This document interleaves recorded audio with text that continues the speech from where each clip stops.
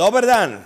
Pozdravljamo sve one koji su od par minuta sa nama u našem programu u e, trećem satu našeg jutarnjeg prepodnevnog programa o vrlo aktualnim stvarima, ali pre toga za sve one koji se spremaju da izađu iz kuće, da kažemo ne preterujemo s garderobom, jer nas danas očekuje plus 24, pravo proleće i danas i sutra i preko sutra, zamirisalo, procvetale kajsije, mogo mi uskoro će i badem, glog kako to ide.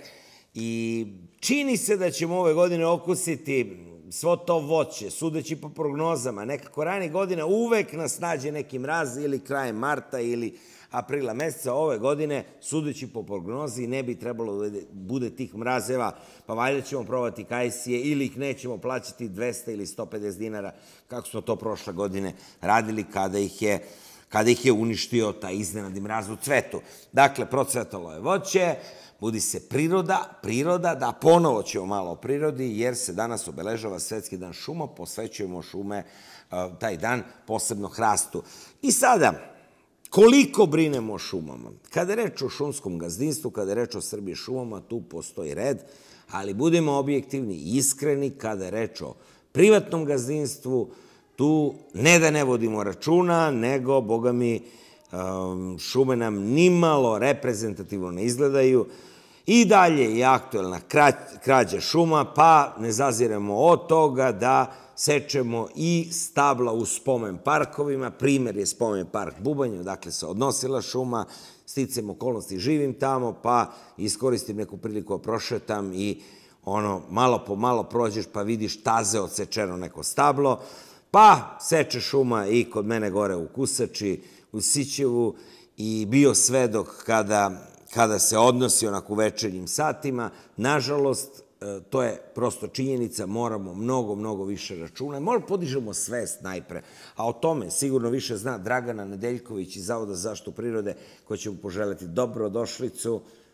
Hvala, bolje vas našli. Dragana, ne znam, nismo krenuli onako optimistički, ali naprosto uh, pretpostavljam da, da delite moje mišljenje. Pa dobro, donekle delim vaše mišljenje, ali nije baš sve tako, tako crno. Ovaj, krenimo od toga da Zavod za zaštitu prirode Srbije dosta radi na, na zaštiti upravo tih šumskih ekosistema kojih u Srbiji nažalost, u poslednjih godina ima sve manje i manje.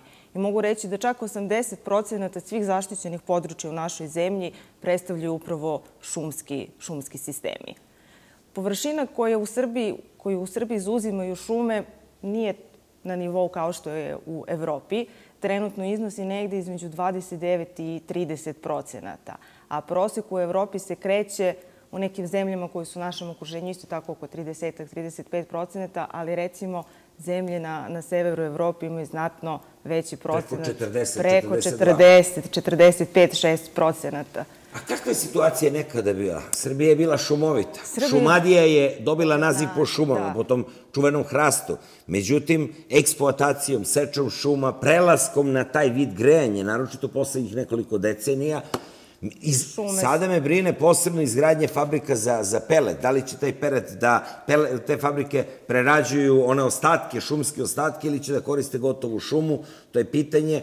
Ne znam, kakvo je vaše mišljenje? Pa negde do drugog e, srpskog ustanka, mislim da je to neka 1820. 30. Nemojte da me držite baš za, za godinu. 815. srpski ustanak.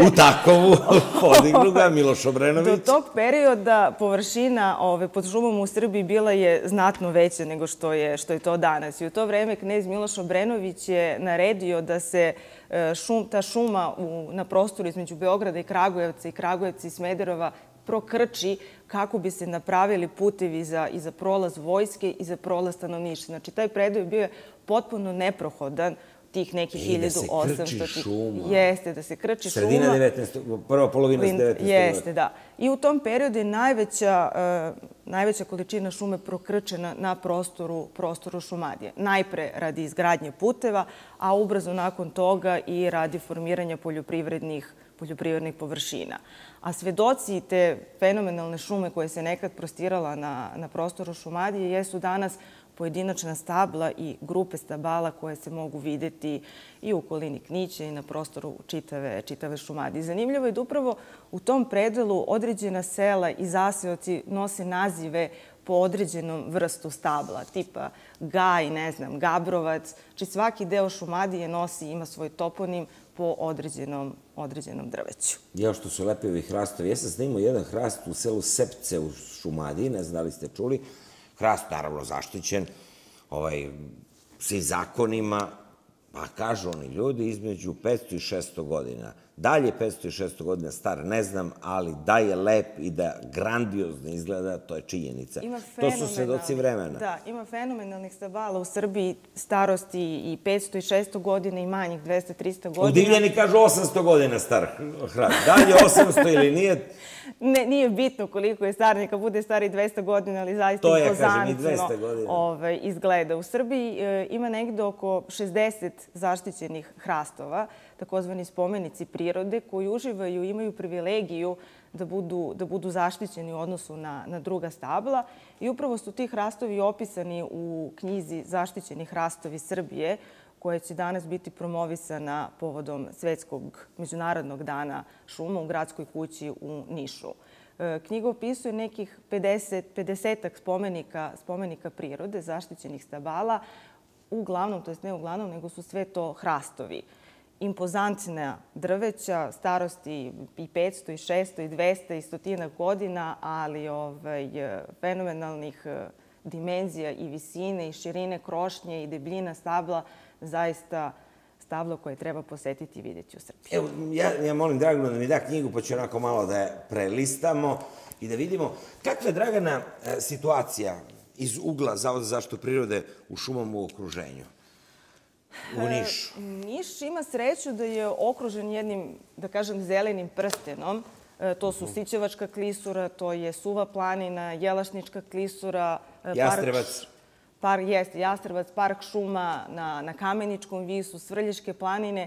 Seličevica. Seličevice. I sve su to područja koja su zaista, koje imaju vredna, vredne šumske ekosisteme. Neko od tih područja su i pod zaštitom kao parkovi prirode, kao specijalni rezervati, gde upravljači zaista se trude da povedu računa i da očuvaju i unaprede te šumske ekosisteme. Čuveni hrast lužnjak, veličanstvena slika. Imamo li mi hrast lužnjak ovde ovaj, u, u okolini? Ima, naravno, kako ne. Mi ćemo baš danas zasaditi povodom uh, ovog dana u starom parku preko puta gradske kuće baš jedan hrast, hrast lužnjak. E, to je sjajno. Ovaj, a šta je sa Brestom? Mhm. Brest. On je 60. godina ovaj, doživao, ajde kažemo, odumiranje. I šta se dešava sada? Znam da je e. bilo pokušaja da se ponovo neke površine ožive Brestom. Pa to uglavnom rade Srbije šume, Srbije šume koje su zadužene i za, i za pošumljavanje i za očuvanje šumskih ekosistema, tako da bih ja priču o Brestu i o tim vrstama prepustila, prepustila kolegama iz Srbije šume. A znamo li e, koliki je životni vek hrasta? Evo ga, hrast, lužnjak, dolovo. Pa ovo, ovo izgleda zaista sjajno. Pa kao što i u toj knjizi ove, ovaj, možete videti, hrastovi mogu da dožive jako duboku starost. Najstariji hrast e, se nalazi u okolini Kraljeva i prema nekom predanju, prema literaturnim podacima, e, stoji da je taj hrast star nekih 600, 600 godina. 600 godina, najstariji Najstariji hrast u, u Srbiji. Ti neki zvanični podaci. Možda postoji negde neki stariji, ali eto. E, postoji pouzdane metode da se utvrdi starost? E, pa, šumari imaju neke svoje metode koje koriste, ovaj, ali ona najpouzdanija jeste, nažalost, nakon posečenog stabla brojenjem, brojenjem godova. Da. To je jedna od, od dosta pouzdanih metoda. Dobro, a da li su ovi hrastovi koji imaju šupljinu, kao recimo ovaj iz eh, hrast zeke buljubaše ili ti onaj hrast udivljeni, ovaj, Da li je njihova, njihov životni vek ograničen, te šupljine? Pa, nažalost, nažalost jeste. Stabla koje imaju neko oštećenje na sebi, koje imaju neke rane koje su, ne di Bože, napadnuto od strane insekata, ozloglašenih potkornjaka, imaju, imaju kraći, kraći vek ali ovaj, ta stabla koji su pod zaštitom, e, naši stručni saradnici, naši šumari redovno obilaze i vodi se računa da, da oni dožive još, još veću starost. Kako rekao smo, prirodni spomenici... Spomenici ovaj, prirode. Prirode. Spomenici prirode i vrlo često su ti spomenici prirode i takozvani zapisi uh ovaj, gde postoji verovanje da takva stabla nikako ne treba niti steći grane, niti, ne daj Bože, posjeći celo stablo, zato što onaj ko to uradi i njega i njegovo potomstvo pratiće, pratiće nestrice. Tako da E, još jedna zaštita tih stabala jeste u stvari što su, što su zapisi stanovništvo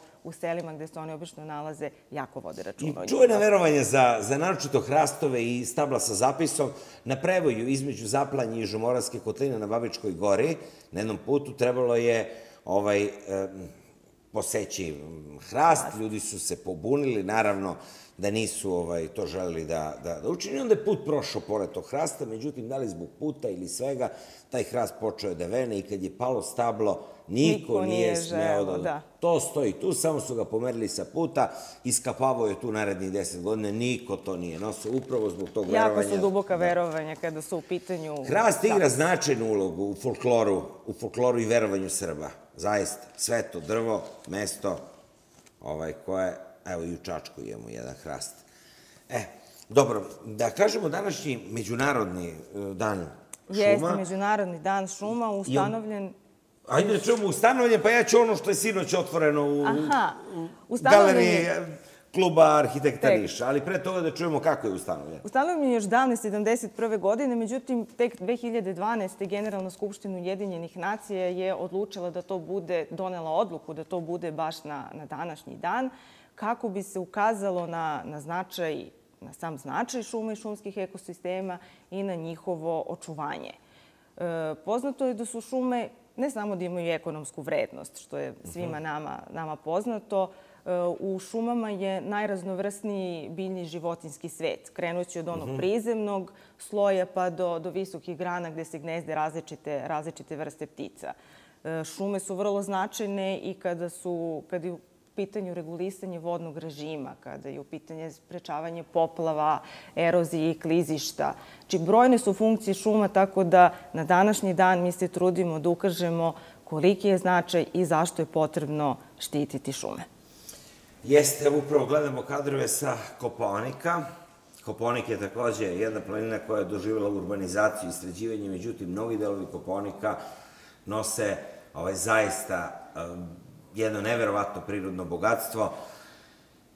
Čuvamo koliko god možemo, a možemo i bolje. Možemo i bolje. Ja kažem, ono što je na čim ima kontrolu država, odnos Srbije šume, to se kontroliše. Međutim, veliki broj braništi šuma i neplanska seča, i imali smo svedoci ovakvim boravcima u prirodi da, da vidimo da je bukvalno neplanski ono posečeno stabla do stabla bez sistema proređivanja, što je velika šteta i što stvara mogućnosti za eroziju tla, i za uništavanje čitavog tog ekosistema. Sistem. Jeste veliki procenat privatnih šuma u Srbiji, čak nekih 47 47%, što znači da je to pola-pola na, na prostoru Srbije. A kad ste pomenuli Koponik, zaista su fascinantni ti šumski ekosistemi u našim nacionalnim parkovima i parkovima prirode. Recimo, ovaj, Stara planina, zaista fantastičan predeo sa očuvanim i bukovim i hrastovim šumama, pa čak i, i četinarskim, možemo da pomenemo Arbinje, kao jedan zaista specifičan rezervat prve kategorije gde je zabranjena bilo kakva uh mhm. -huh. aktivnost, tako da se nadamo nazivaju čak neki i, i prašumom Srbije. Pored Vinatovače koje se nalazi na, na Kučeju, koje zaista to je jedna fenomenalna bukova šuma pod zaštitom e, države, prva kategorija zaštite, gde je zadnjih 30, a možda i više godina bilo kakva aktivnost od strane ljudi zabranja, pa čak i sakupljanje običnog lekovitog bilja na prostoru Vinatovače. Mm, zaista. Da, i Vinatovača pa sada... je jedna, da kažem, i jedina prašuma u Srbiji.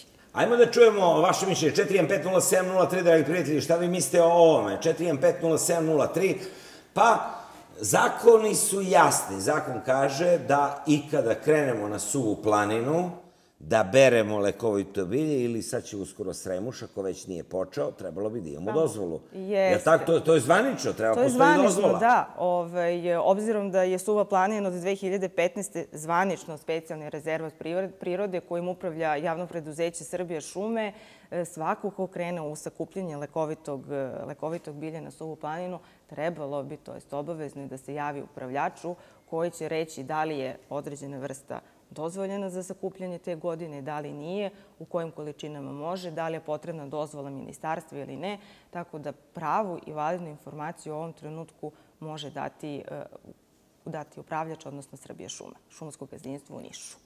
Mm, to su zakoni, ali dobro, ono. To Kad idemo u zakoni, šetnju da. pa naberemo za jednu kesicu, to Nije niko strašno, nije strašno. nabrati za jednu ali kesicu. ako planiramo to za neku ozbiljniju prodaju i za komercijalizaciju, da. naravno da je potrebno. Neko je sa nama. Dobar dan, izvolite. Ja vam želim dobar dan i pozdravljam mladu damu. Drago mi je, čestitam, današnji dan je ovaj fini dan. Evo konkretno, bili smo na čišćenje bubnja u petak, Boban Đunjić je organizovao I mlad. kakav je utisak sa Evo ovako, evo, Ali ona, pošteno i realno, molim. realno, gore je na bubnju fenomenalno, mi ne znamo šta imamo nišlije. Deo nišlija. Evo, drago mi je što mlada e, dama e, učestvuje u ovoj emisiji i potkrepljujem. 80% mladinaca je bilo aktivno, očistili smo, fino, podružili se. To je bilo milina gledati te mlade ljude. To je bilo u petak, znači nema, nema način da se niko, ovaj, ne treba organizovati. Zašto da ne? Izaći, prodizati, čist vazduh, druženje. Lepota, dragi Žiko, lepota. Očistili i tako. E sad, Ono što ste videli, šta ste videli? video sam, pa dobro, imam neke dobre utiske. Nije baš sve upropašćeno, da vam kažem. Znači, veliki je posjet, treba, treba više uložiti kao što e, ima inicijali da će to da se uredi, to, to stvarno lepo izletište Niša. Druga stvar, evo, bili su u razgovori pro, ovaj, omladinci jedan od njih je profesor, kaže, imam zadatak i draga omladino, da ćemo da se organizujemo u okolini Niša i to će sigurno da uspeju, da po šume i da kažemo kad ostarimo, e, mi smo ovo drvo posadili. Ja u njima verujem i to je inicijativa mladih ljudi. Srdačan pozdrav, tako treba omladina da se izađe da vi, i garantovno to treba taj ovaj projekat da se odradi. I ta omladina da kažu, ajdemo konkretno Delinski vis, e, gore Kamenica. E, to da, jeste. Da. Ja vas pozdravljam i Sve srdačno. najbolje. Sve najbolje. E, Niš je inače jedan od zelenih gradova u Srbiji, dobro. Imamo nekoliko velikih parkovskih površina, Tvrđavu, park Čajer i Bubanj, ali tu i niz drugih parkova. Međutim, o, mene obradovala juče slika iz Voždove ulice. Ajmo da vidimo Voždovu ulici, kaže uoči Svetskog dana šuma, pošumljavaju se drvoveredi duž niških ulica. Evo imamo sliku. Voždovu ulicu će krasiti red od 14 e, stabala ovaj, koja se z- stavlja biljke koja se zove likvidaba. E tako kaže, likvidaba. Drvored e, koji je tu nekada bio, posečen je prošle jeseni, posljednjih dana, uklonjeni su panjevi, potvrdio to Bovan Đorđević, direktor sektora Zeleno JKP Medijana. Ovih dana biće dovršen drvored na bulevaru Cara Konstantina, gde će biti posjećeno 50 sadnica platana. Inače, mogu da kažem da ovi zelenila su i pravi profesionalci i da tačno znaju ovaj, koje drvo na kojem mestu treba, Treba da se da se- posadi, kakav mu je korenov sistem, da li može da naruši neke podzemne instalacije, koliko može da raste, da se ukrašava, tako da ja njima zaista verujem. I dobro je gde smo izvadili, tu bio sjajan drvored. Dragana, ne znam da se Jest, seća mlađe, ali kroz Voždovu ulicu i dobit ćemo jedan novi, pa je bilo i ono Vojvode Gojka, zašto će tu drvored, šta će. Međutim, to se formira i to, to zaista lepo izgleda. I meni se dopalo i ono sa finskim ambasadorom što smo zasadili Sadili u tvrđevi. u tvrđevi. Da. E, i upravo što Petronijević kaže. I to je dobra stvar. Vrlo je bitno planski saditi e, ove, zelenilo u gradu. Zbog čega? Zato što postoje podaci koji kažu da ukoliko je gradsko zelenilo planski određeno, čak za nekih 2 do 8 stepeni Celzijusa smanjuje temperaturu tokom lenjih meseci i time za 30 smanjuje korišćenje raslednih uređaja. Na taj način štiti se i, i energija, naravno. Idemo dalje. Dobar dan, izvolite. Dobar dan, Žile. Slušamo vas. Pozdrav vama i vašoj koleginici, ovaj, gošći. Hvala. Interesuje jedno pitanje samo. Na Suvoj planini imam neku svoju parcelu, u stvari naš više nas ima, 2384 metra, znači 2,5 hektara. I dobio sam rešenje pre neki dan gde se kaže zabeležba zaštite prirodne, prirodnih dobara, specijalnog rezervata prirode Suva planina Tako je. na osnovu odluke Skupštine od 13.8.2015. godine. Međutim, ja, eh, ja sam za to, za prirodu i za sve to, ja sam i ribolovac. Pa me interesuje, Zašto me oslobode plaćanju poreza samo? Znači, ja to više ne mogu da koristim, ne mogu da sečem šumu, ne mogu ništa da radim. A drugi, Ali bi trebala država šumu? da me oslobodi bar plaćanja poreza, pošto je to nacionalni park, rezervat. E sad mi još nešto zanima, jeste vi prošetali tim braništem, jeste vidjeli u kakvom stanju je, Ma pokradeno bio nešto sam žive, nije? žive, e, ja sam iz tog kraja i dom kad je zapaljen onaj pošta što je držala i, i izuzetno poznajem ovu planinu. Da, vi znate šta se dešavalo prošle godine i ove na, od ploča pa natamo, u onim privatnim postima, ne treba vam govorim. Pa, bila je seča na veliko i dan danas se to radi. Seča na veliko, jest. Seča to je na veliko. katastrofa šta se dešavalo. I prošle i ove godine je bilo prijava i pritužbi. E sad, Moj savjet gospodinu da, da ode do šumskog gazdinstva u Nišu, koje, Mhm. kao što sam već rekla, gazduje rezervatom Suva planina i da porazgovara sa njima da, da dođu ne, do nekog zajedničkog rešenja. Znači čovek kaže imam 2,5 hektara koji ne mogu da koristim, sada ovaj, ne, ne mogu da prodam, ne želim da probam, prodam, ne eksploatišem, to je u zaštićenom parku prirode, da li mogu da bude makar oslobođen poreza? Jer ne, Znači, najbolje je otići u šumsko, Šumsko gazdinstvo šumsko gazdinstvo Niš, koje upravlja ovim, ovim rezervatom prirode. Mhm, dobro.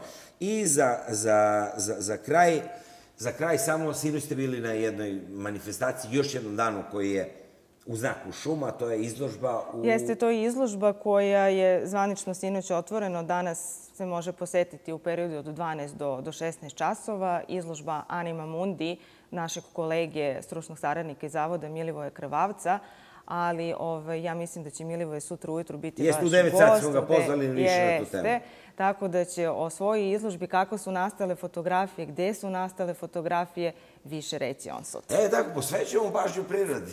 I on, ono lepoti, a u susret proleću jedva čekamo da se ozelene naše šume. I još jednu stvar, ovaj, dragi prijatelji, ukoliko šetate šumama, vodite računa nikada ranije, dakle, zmije je bilo i minulog vikenda, naročito poskoka u reonu Kusače, Sićeva i tu gde je njihovo stanište. Vodite računa, kažem, i minulog vikenda ih je bilo. Trenutno ovaj, su pune otrova, trenutno su u fazi parenja, u fazi parenja, prema tome, ovaj, lepo ih zaobiđite, pustite ih, neka odu svojim putem, budite obazrivi, to je činjenica i nema zime. To će potre još mesec dana, posle se one povlači ređe će da ih viđete, ali nemojte da se iznenadite ako ih vidite, jer su sada u jednoj specifičnoj fazi. Dragana, sam dobro to rekao? Da, odlično. To je tako? ja bih samo iskoristila priliku da vas još jednom pozovem da danas u 13 časova budete sa nama i vi i vaši gledalci u gradskoj kući, da svi zajedno čujemo priču o zaštićenim hrastovima Srbije i da prisustvujemo sadnji još jednog hrasta na, na prostoru našeg grada. Eto je lepa vest. U nastavku programa Neomag, reklame, pa se vraćamo u program i otvorit ćemo jedno pola sata telefon za javljanja. Spremili smo i 7-8 priča. Vidjet ćete i kako je sinoć bilo u feedbacku da je posle 20 godina kulti niški band Arnold Lane Alhemija održao ovaj koncert. Mm, Hvala na pažnji, hvala što je i ovog jutra vaš izbor Zona Plus. Reklame. Hmm.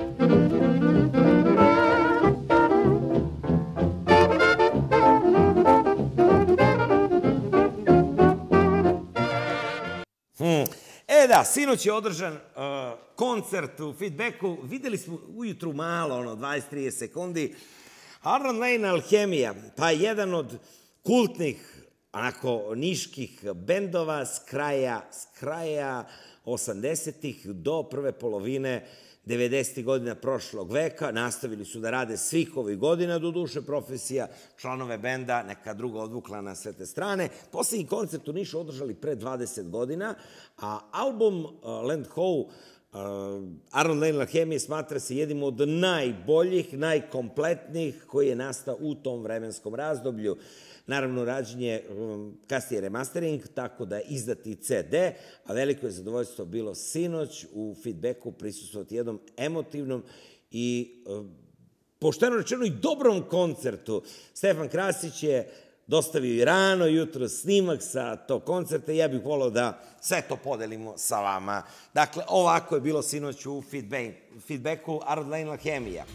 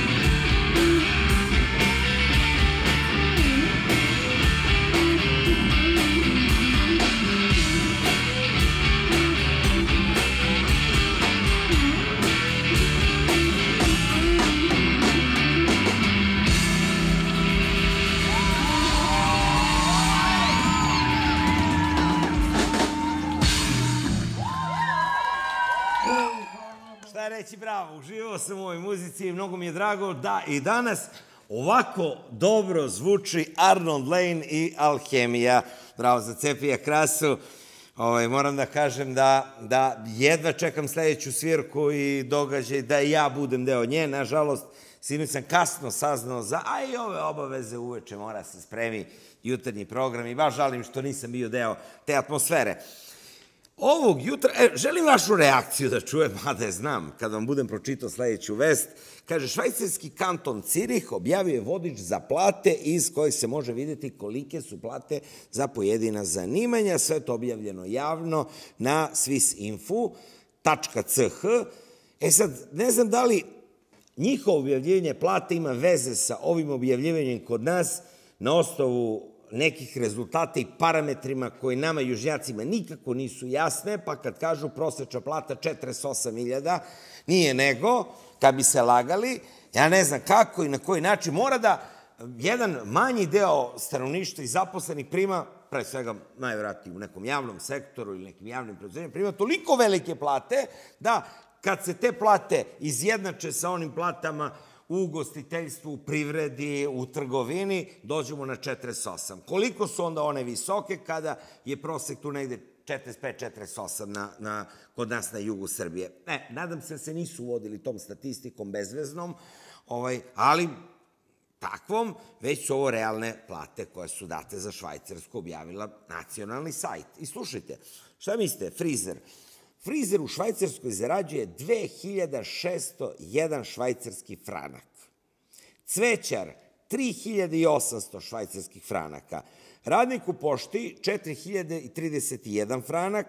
Pekar, pekar u Niškoj pekari, pa ono, majstor možda zaradi 35.000 dinara, odnosno možda zaradi, to je 320 evra, inače radnici u pekari 20-25 hiljada. Automehaničar, pa isto je tolika cena auto. Dobar automehaničar u Nišu zarađuje između 350 i 400 evra, a u Švajcarskoj 4,5 hiljade evra. E, zatim, vozač autobusa 4858 evra. Ajmo da pitamo naše vozače iz Niša u gradskom prevozu kolika je njihova plata. U Švajcarskoj vozač autobusa prima 4858 švajcarskih franaka. Novinar, to je, to je gotovo neverovatno, 5000, 5551 franak. Moram popijem vodu malo posle ovoga. 5551 franak prima prosečna plata novinara. Da ne govorimo o onim medijskim zvezdama i ljudima koji rade recimo programe uživo, koja je najteži oblik tog, tog novinarstva. Socijalni radnik 6246 evra, učitelj 7398 švajcarskih franaka, oprostite, i onda na kraju javni tužilac 10.400 švajcarskih franaka. I glavni lekar u bolnici u Cirihu prima 12.824 švajcarskih franaka. E, i posle se čudimo što je juče na Međunarodni dan sreće objavljeno da je ovaj pored Norveške, Francus, ovaj Švajcarske jedna od najsrećnijih država sveta.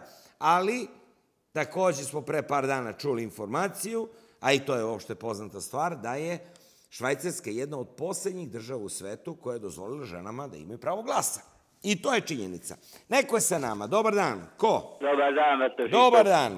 Blagojević, premda vas gledam od jutros rano, evo, sad ste me zagolitali ovom temom oko plata, međutim, to je e, poli- polovično e, izjava ovih e, medija stranih, a kako je sa cenama u hrani, u, u plaćanju stanarine i to sve, ja verujem da su tamo to veoma skupe stvari, cigarete i da ne govorim Evo ovako ćemo. Budite na vezi, Blagović. Evo šišanje. Teško da u Švajcarskoj neko može da te ošiša za, za 180 ili 200 dinara ono što je prosek od mog miće. 200 dinara šišanje.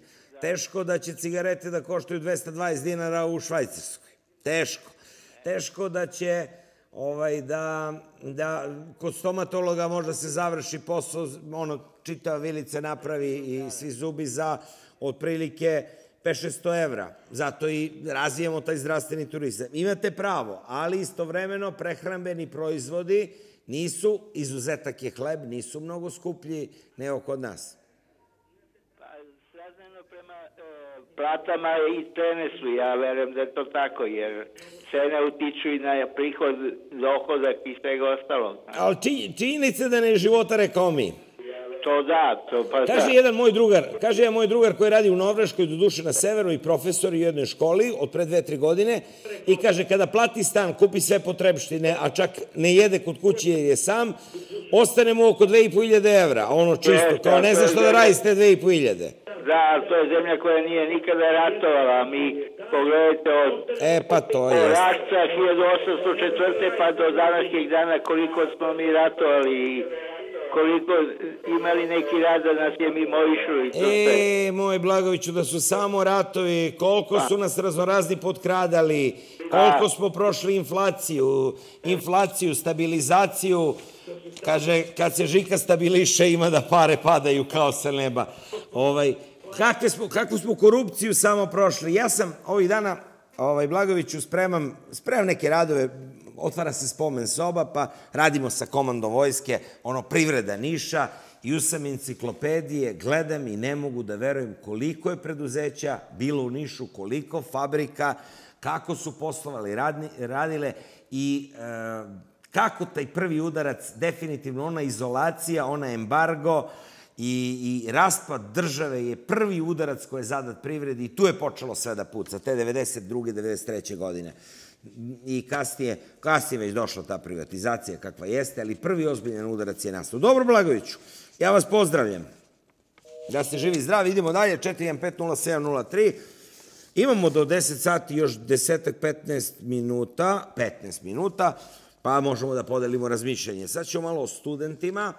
Nedostatak prakse, prostora, savremene tehnike i opreme su mm, za nastavu najveći problemi za nastavu na Niškom univerzitetu. To je zaključak okruglog stola, uslovi studiranja u Nišu i problemi studenta. Informacije dobijene na ovom okruglom stolu naći se pred Senatom Univerziteta u Nišu, a ideja je da se u budućnosti češće organizuju okupljenja studenta zbog razmene iskustava. Predstavnici 10 od 13 fakulteta Univerziteta u Nišu učestvovali su na okruglom stolu čija je ideja bila da definiše najveće probleme studenta. Zaključak je da nema dovoljno prakse studentskih razmena, savremene opreme, prostora, ali i da su kriterijumi ocenjivanja kod pojedinih profesora nejednaki. Ovakvih problema ima na skoro svim fakultetima. Naša ideja je da sa svakog fakulteta se prikupe, to jest prikupljene su informacije o uslovima studiranja i da se razmotri da vidimo koji su problemi i koje su potencijalne rešenja, kako može da se dođe do boljih uslova za studiranje. Studentski predstavnici uh, Studentskog parlamenta Univerziteta u Nišu su članovi Saveta i Senata Univerziteta u Nišu uh, i uh, imaju pravo glasa, imaju pravo da se obrate i da pokrenu inicijative, sve što je u vezi sa studentima na, na svim pitanjima koji su u vezi sa studentima, a takođe studenti su i u, uh, u Skonusu, studentska konferencija Univerziteta Srbije, tako da i na tom polju mogu direktno da učestvuju Dobra vest sa okruglog stola je da je studiranje u Nišu najpovoljnije. Prosečna cena školarine na fakultetima Niškog univerziteta je 80.000 dinara, dok je u Beogradu i Novom Sadu cena oko 109.000, odnosno 89.000 dinara. Takođe, postoje i usluge fakulteta poput izdavanja uverenja o stečenom visokom obrazovanju, koje se različito naplaćuju na svim fakultetima, dok se na nekim fakultetima ne naplaćuje, zbog čega će se studentski parlament zalagati da se naplaćivanje ove usluge na svim fakultetima ukine ili smanji na minimum minimalni iznos. U okviru okruglog stola Psihološko savjetovalište za studente održalo je predavanje o najčešćim psihološkim problemima sa kojima se studenti suočavaju. Prokrastinacija, zatim socijalna anksioznost, predispitna anksioznost i slično. Znači, to su stvari sa kojima se studenti suočavaju tokom svog školovanja, a često ne znaju kako da ih reše i upravo su studentski predstavnici ti koji treba da se edikuju, da znaju da svojim kolegama preporuče psihološko savjetovalište kao rešenje njihovih psiholoških problema. Studenti će o zaključcima okruglog stola razgovarati sa rektorom profesorom doktorom Draganom Antićem, a najveće probleme studiranja u Nišu predstavit će Senatu univerziteta. Zašto je Niš veliki grad, zašto Nišlije turisti obožavaju? I zašto će Niš biti sve popularniji? Pa zbog mnogih malih ljudi koje viđamo svakodnevno, a koji ovaj naš grad čine velikim.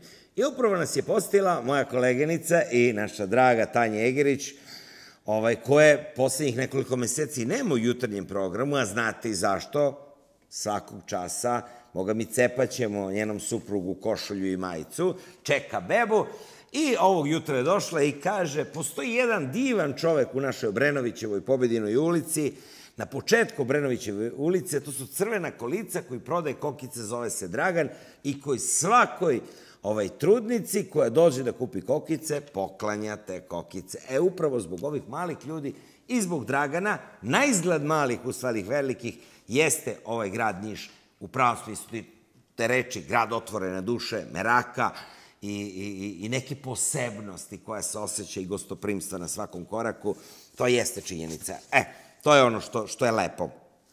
E da, ima još par, par zanimljivih priča, kao što znate, Šta spaja Niš i grad Sentu? Niš i grad Sentu spaja, jel da, Stevan Sremac. I upravo sledeća priča govori o tome, samo da ja u ovim mojim pisanijama nađem, evo tu je, Učenici profesori iz Sente, učenici profesori iz Sente, gosti su ovih dana gradske opštine Medijane i grada Niša dolaze u postaju najvećoj Niškoj opštini u vreme festivala dečijeg stvaralaštva i stvaralaštva za decu ove godine devetog po redu. I to je lepa manifestacija. Po tradiciji njihovi domaćini su učenici osnovne škole Radoje Domanović sa kojima se druže i upoznaju Niš tokom trodnevnog boravka. Druženje koje traje godinama preraslo je u prijateljstvo, pa je gostiju iz Vojvodine sve više Kao što vidimo, lepa slika. Gradska opština Medijana godinama sarađuje sa opštinom Senta, a boravak mladih još jedna je prilika za nastavak saradnje, razmenu različitosti kulture, nova upoznavanja, a kao što rekom, čitava priča nastala je zbog činjenice da smo imali zajedničkog građanina rođenog Vojvođanina u Nišu, Stevana Sremca. Eto, to je... A sada nešto o Svetskom danu poezije. Divno veče i dobra prilika da promovišemo poeziju za koju mnogi kažu da se ponovo vraća u modu. A dobro, nekako, ne znam da li gledate ovu seriju Santa Maria de la Salute, da li ste gledali film, ali kako to Vojin Četković recituje, zaista dobro zvuči. I ne znam da li imamo sada pesnike kao što, što je recimo Laza Kostić bio, ali mislim da e, je činjenica da, da m, se poezija i ti stikovi sve češće kazuju. A lepo je to juče kazivo Dalivor Popović u Medija centru, gde je i, i, i javnim kazivanjem na mostu kod Tvrđeve Društvo književnika i književnih a, prevodilaca Niša obeležilo Svetski dan poezije. Evo priče. Most kod tvrđave utorak će biti mesto gde će pesnici Niša Nišlijama kazivati stihove, ko svoje, ko tuđ. Njih dvadesetak će na ovaj način obeležiti dan koji se svuda u svetu slavi kao dan poezije. Ideja uopšte ovog svetskog dana poezije je da se pre svega poezija kazuje. Znači, u redu pisanje i sve to, ali hajde da vratimo ono što se, što se nekad mnogo češće radilo, to je kazivanje stihova. Slavljenje poezije organizuje Društvo književnika Niša uz pomoć Niškog kulturnog centra i Narodne biblioteke Stevan Sremac. U biblioteci su spremili gomilu knjiga pa će onima koji slušaju poeziju deliti po jednu. A očekuje se podrška i ostalih ljubitelja stihova. Nedavno je iz Pariza navratio do Niš naš poznati džez muzičar Ivan Jelenković Pivce. On će uz podršku Nebojše Stojanovića Kenedija dati tu muzičku podršku kazivanju poezije. Svetski dan poezije UNESCO je proglasio 21. marta 1999. godine sa ciljem promovisanja, čitanja, pisanja, objavljivanja i proučavanja poezije širom sveta. Uopšte me ne čudi, ne čudi što je Dalibor Popović Pop, moj brat i kolega, ovaj, osmislio prva manifestacija ovakvog tipa koja će se održati na zatvorenom tvrđavskom mostu, danas tačno u podne, a slušamo i nadimke zašto je Niš poseban, pa kaže Ivan Jelenković Pivce, ili ti Nenad taj Kennedy, ili ti ono Dragan Žika Promaje Stojanović i tako dalje. Dakle, svako od nas ili većina ima neki lokalni nadimak po kojima se raspoznaje. Neko je sa nama. Dobar dan. Dobar dan. Izvolite. Uh, htela bi da vam najavim jedno lepo okupljanje i nadam se da ćete moći da ga propratite sa snimkom. Ajde nam pomognite vi, ako ne možemo... Radnici fabrike mašina i opreme elektronska industrija. Već nekoliko godina se okupljamo zadnje subote ili nedelje u martu i tu se družimo i evociramo uspomene i to ja mislim da je to događaj koji treba prikazati jer non A gde se okupljate? Samo nam to recite. Kada? Ovaj, u vazdušnoj banji i onda kod pravnog fakulteta, ona Dobro. kafanica. Kada se Od okupljate? jedan sat. Kada? U nedelju. U nedelju i jedan sat. Jedan sat. To su radnici... EI, fabrike mašina i opreme, elektronska industrija, bivša. E, bivša, nažalost. da. Hvala vam puno. Evo, zapisao sam vazdušna banje, 13 sati nedelja, okupljaju se radnici fabrike mašina, nekada su drugovali do 90, do koje? 99. 8. godine, ali tako? sam 97. otišla u penziju, tako da... E, ali se ponovo sastaju i to je mnogo lepo što radite. To je baš lepo. E, imamo, imamo jednu sjajnu priču o ženskom futbolskom klubu Mašinac, ali ajmo prvo da vidimo reklame, pa ovaj, potom i tu priču.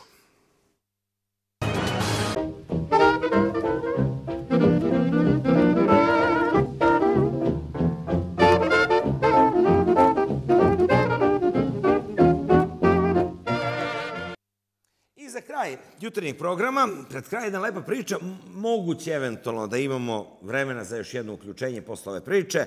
Najavili smo, bio je Braca s- prošle nedelje u petak sa svojim futbalerkama, najavili smo dve utakmice, jedan kup i rekli smo idemo svom snagom da osvojimo taj kup i Bože zdravlje do godine da budemo deo prve lige, da igramo zajedno sa Mašincem. I igraće zajedno sa Mašincem, to je činjenica sada.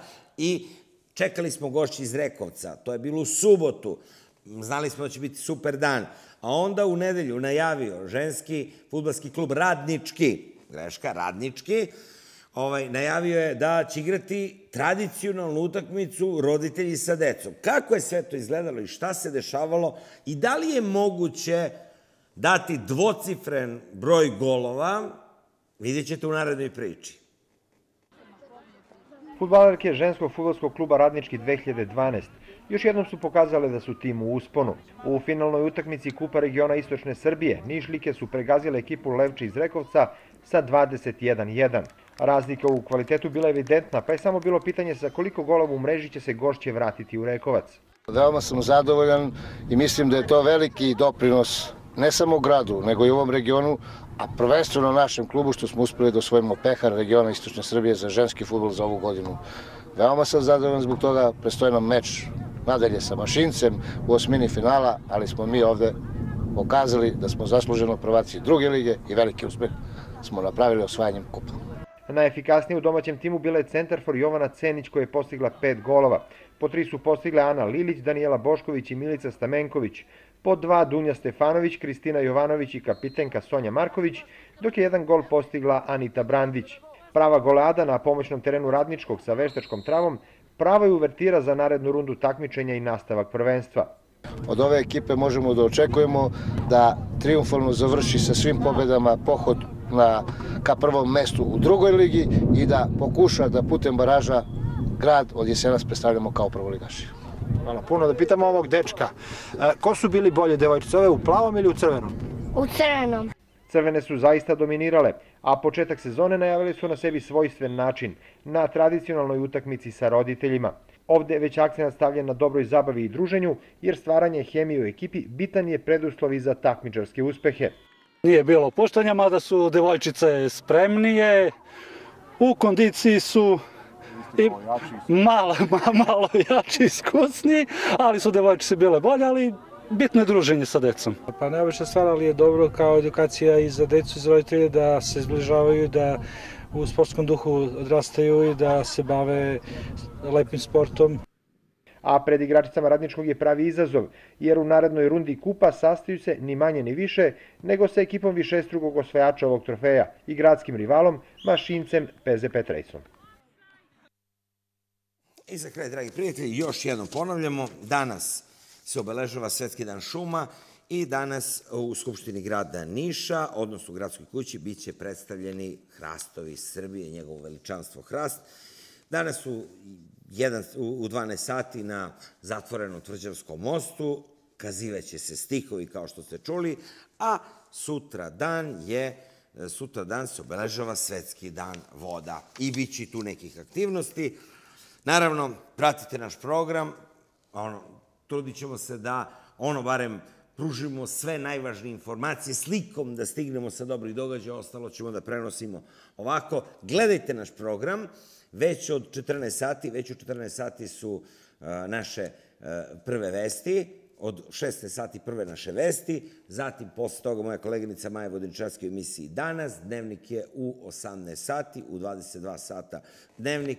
I tokom čitavog dana program vesti, informacije i tako. Želim vam prijatan dan, a ovaj, ovaj prepodnevni program završavamo jednim starim, dobrim hitom Škorpionsi i Holiday u jednom potpuno drugačijem koncertnom aranžmanu.